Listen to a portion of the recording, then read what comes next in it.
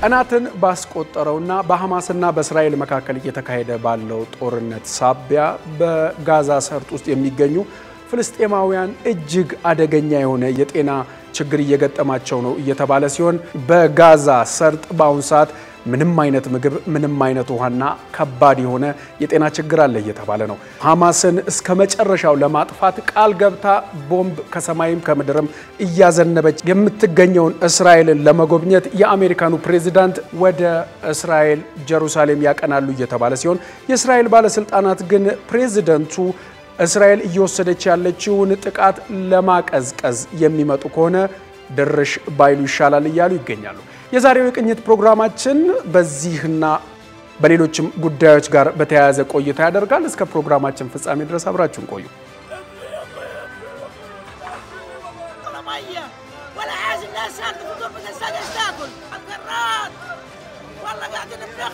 የአሜሪካኑ ፕሬዝዳንት ሁለት ጉዳዮችን ይዘው ነው ወደዚያው የሚያቀኑት እየተባለ ሲሆን አንደኛው ለእስራኤል ድጋፋቸውን ለመግለጽ ሲሆን በሁለተኛ ደረጃ ደግሞ በጋዛ ሰርጥ አካባቢ ለሚገኙ ፍልስጤማውያን ሰብአዊ ድጋፍ የሚያገኙበትን መንገድ ለመነጋገር ነው እየተባለ ይገኛል። ነገር ግን በትላንትናው ዕለት በሩሲያ በኩል ቀርቦ የነበረው ማለትም ለጸጥታው ምክር ቤት ቀርቦ የነበረውና በጋዛ ሰርጥ አካባቢ ለሚገኙ civilian ሰብአዊ እርዳታን ለማድረስ የቀረበውን motion ውድቅ ተደርጓል። ይህ motion በአምስት ድጋፍ፣ በስድስት ድምፀ ተአቅቦና በአራት ተቃውሞ ውድቅ የተደረገ ሲሆን ይህንን ተቃውሞ ያቀረቡትም ብዙኃኖቹ ምዕራባውያን ናቸው እየተባለ ይገኛል።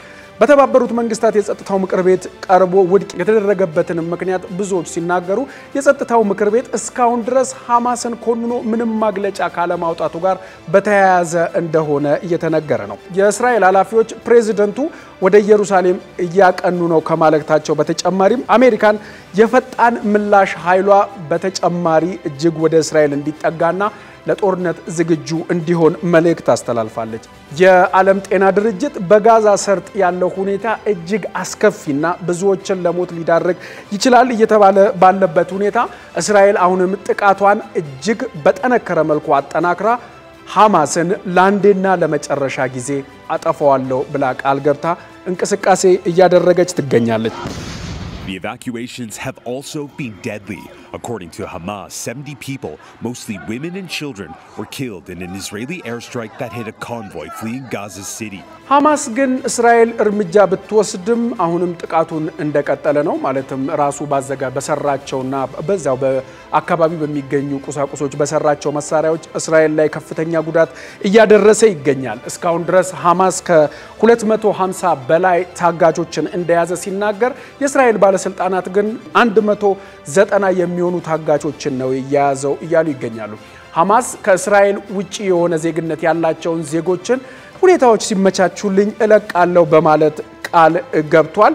እስራኤል በአየር ላይ ከምታደርገው ጥቃት በተጨማሪ በምድርም ጥቃቷን ለመጀመር ዝግጅት እያደረገች እንደሆነ ሲነገር አንድ ነጥብ አንድ ሚሊዮን የሚጠጉ የጋዛ ሰርጥ ነዋሪዎች ወደ ደቡብ ወይም ደግሞ ወደ ሰሜን በሚገኙ አካባቢዎች እንዲወጡ ጥሪዋን ብታቀርብም እስካሁን ድረስ ግን ይህ እየተሳካ አይመስልም። ሐማስ በሚቆጣጠረው ጋዛ አካባቢ ከእስራኤልና ከግብፅ ጋር እንዲሁም በሌላኛው በኩል ደግሞ ከባህር ጋር የሚዋሰን ሲሆን እስራኤል በሁለቱም ድንበሮቿ በኩል ጥቃት ከማድረሷ ጋር በተያይዞ ለጋዛ ሰርጥ ነዋሪዎች ብቸኛ መውጫ መንገድ ተደርጎ ይታይ የነበረው በግብፅ በኩል ያለው ራፋ የሚባለው የድንበርም እንዲሁ ግብፅ ዘግተዋለች እየተባለ ሲሆን ግብፅ እያደረገች ያለችውንም ድርጊት ብዙዎች እየኮነኑ ይገኛሉ።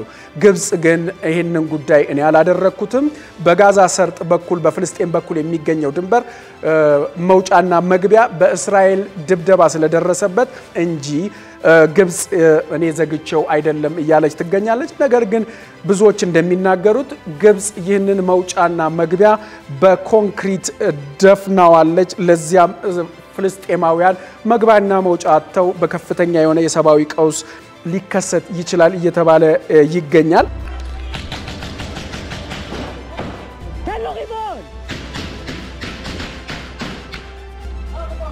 በትላንትናው ዕለት በሶስት ሀገራት ማለትም በግብፅ በአሜሪካና በእስራኤል መካከል በተደረገ ንግግር ለሰዓታት የሚቆይ ተኩስ አቁም እስራኤል አድርጋ ነበር። ለምን ያህል ጊዜ ይቆያል የሚለው በሰዓታት በወቅቱ ባይገለጽም እስራኤል ግን በጋዛ ሰርጥ የሚገኙ ዜጎች አካባቢውን ለቀው እንዲወጡ እድል ሰጥታ ነበረ።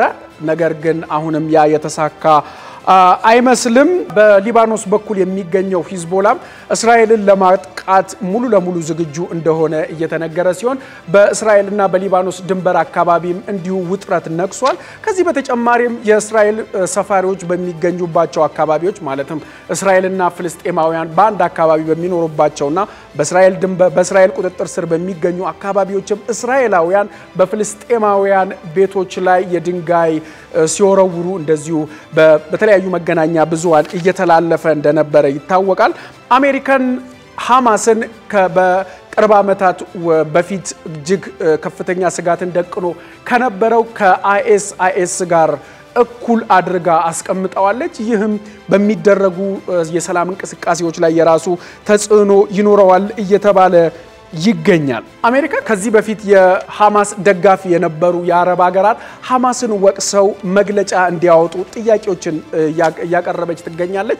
ነገር ግን ብዙ ሀገራት ያንን ባያደርጉም የአረብ ሊግ ግን ከትላንት በስቲያ ባደረገው ስብሰባ እጅግ የተቀዛቀዘና ለመጀመሪያ ጊዜ ሁለቱንም ወገኖች ማለትም ሐማስንና እስራኤልን ወቅሶ ሲቪሊያን ላይ የሚደርሰውን ጉዳት እንዲቆም በሚል ሁለቱንም ወገኖች የሚከስና ሁለቱም ወገኖች ሰብአዊ እርዳታ ነገሮችን ክፍት እንዲያደርጉ የሚጠይቅ መግለጫ አውጥቷል። ይህም ብዙዎችን በተለይም ደግሞ የአረብ ሀገራት ከቅርብ ጊዜያቶች ወዲህ ከእስራኤል ጋር በፈጠሩት ስምምነት ይህ የሚጠበቅ ቢሆንም ለሐማስ ግን ትልቅ ኪሳራ ነው እየተባለ ይገኛል። ሐማስ እንግዲህ ጥቃቱን ከጀመረ ዕለት ጀምሮ የተለያዩ ሀገራት በተለይም የአረብ ሀገራትና የሙስሊም ሀገራት ሐማስን ደግፈው ጥቃት እንዲወስዱና ይህንን ትግል የሐማስን ትግል እንዲቀላቀሉ ጥሪ ሲያቀርብ ሰንብቷል። ስድስት የሚሆኑት የአረብ ሀገራት እስካሁን ድረስ ከዚህ በፊት ያደርጉት እንደነበረው ማለትም በ2014 በ2002 ወደ ኋላ ተመልሰን በፍልስጤማውያንና በእስራኤል መካከል ግጭቶች ሲኖሩ የተለመደ ነገር አለ። ይህም ምንድን ነው? እነዚህ የአረብ ሀገራት አንደኛ አምባሳደሮቻቸውን ይጠራሉ፣ ኤምባሲዎቻቸውን ይዘጋሉ፣ መረር ያሉ መግለጫዎችን ያወጣሉ። በዚህ ወቅት ግን ምንም አይነት ነገር አላደረጉም። ስድስቱ ከእስራኤል ጋር ከቅርብ ዓመታት ወዲህ ስምምነት የፈጠሩት ሀገራት በእስራኤልን ተቃውመው መግለጫ ሲያወጡ አልታየም። ይህም ደግሞ ሐማስን እጅግ በጣም ሊጎዳው ይችላል።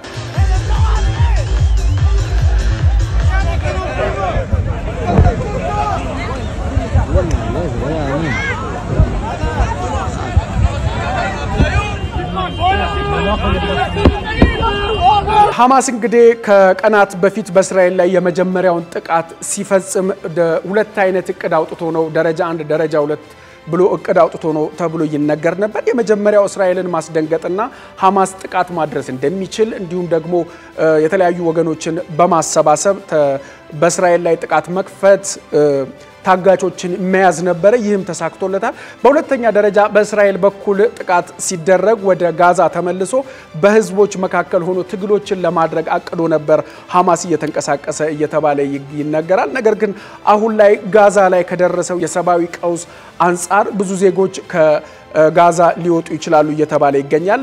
እንግዲህ ግብጽ በቀናት ውስጥ ድንበሯን ለፍልስጤማውያን ክፍት አድርጋ ወደዛ እንዲያልፉ ልታደርግ ትችላለች። እስራኤልም ይህ ከሆነ በሰፊው እንዳለችውና እንደማለችው እንግዲህ ምልዓተ ገጽታ ነው እየተባለ ይገኛል። ሐማስን ለማጥፋት ዝግጅት እያደረገች ያለችው። በዚህም ሳቢያ በቀናት ውስጥ እስራኤል በጋዛ ሰርጥ ላይ ከፍተኛ የሆነ ጥቃትን ልታደርስ ትችላለች እየተባለ ይገኛል። የተለያዩ ሀገራት የአረብ ሀገራትን ጨምሮ ምዕራባውያን ጥረት እያደረጉ ይገኛሉ በሁለቱ ወገኖች መካከል ስምምነትን ለማምጣት። እስራኤል ግን የአሜሪካኑን ፕሬዚደንት ጭምር እስራኤል እየወሰደች ያለችውን ጥቃት ሊያቀዘቅዙና በዚያ ጉዳይ ላይ እስራኤል ሀሳቧን ለማስቀየር የሚመጡ ከሆነ ባያደርጉት ይሻላል፣ እስራኤል ለአንዴና ለመጨረሻ ጊዜ ሐማስን ማጥፋት አለባት ብለው እየተናገሩ ይገኛሉ የእስራኤል ባለስልጣናት። እንግዲህ ከቀናት በፊት የተጀመረው ይህ ግጭት ወይም ደግሞ ይህ ጦርነት በአሁኑ ሰዓት በሺዎች የሚቆጠሩትን ሕይወት ቀጥፎ በአስር ሺዎች የሚቆጠሩትን ደግሞ ለጉዳት ዳርጓል። ከፍተኛ የሆነ የሰብአዊ ቀውስም እየደረሰ ይገኛል። እንግዲህ በቀናት ውስጥ ምን ይደረጋል የሚለው ነገር እጅግ በጣም አነጋጋሪ ነው። የአሜሪካኑ ፕሬዚዳንት ወደዚያው ማቅናታቸው ግን በሁለቱ ወገኖች መካከል ንግግር እንኳን ማስጀመር ባይችል በጋዛ ሰርጥ ለሚገኙ ፍልስጤማውያን የሰብአዊ እርዳታ እንዲደርስ ሊያስችል ይችላል እየተባለ ይገኛል። ግብፅም በከፍተኛ ሁኔታ ትችትን እያስተናገደች እንደሆነ ይነገራል።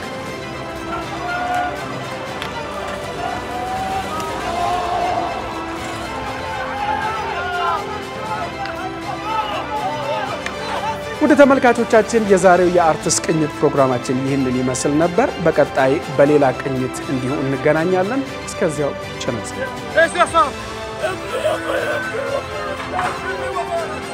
قاعدين فراخ مصطفي ولا حاجة مفلوس الناس مش عارف ولا ميه ولا حاجة الناس شاردة في غرفه تاكل مش ميه ولا في حاجة مش راضي من ميه قاعد على الراس